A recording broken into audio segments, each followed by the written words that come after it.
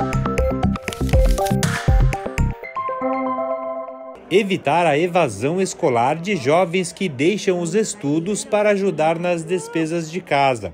Este é o principal objetivo da lei aprovada pela Assembleia Legislativa e sancionada pelo governo do estado, que institui o Bolsa Estudante para os alunos matriculados no ensino médio das escolas da rede pública estadual de ensino.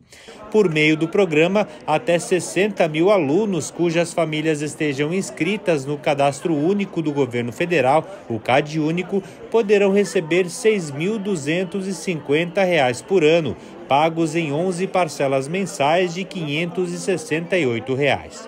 Os estudantes que receberão o benefício serão selecionados conforme o grau de carência socioeconômica.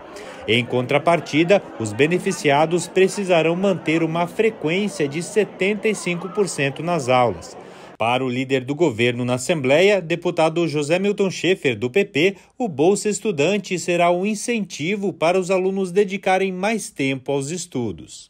É incentivar alunos né, é, no ensino médio de famílias é, que tenham vulnerabilidade social, para que esse jovem curse todo o ensino médio com um incentivo aí em torno de R$ 6.400 anuais em parcelas é, mensais a serem pagas para que o aluno permaneça, tenha assiduidade e, mais do que isso, ele tenha a obrigação também de passar do ano, de ser aprovado para que no ano seguinte ele possa continuar recebendo essa bolsa.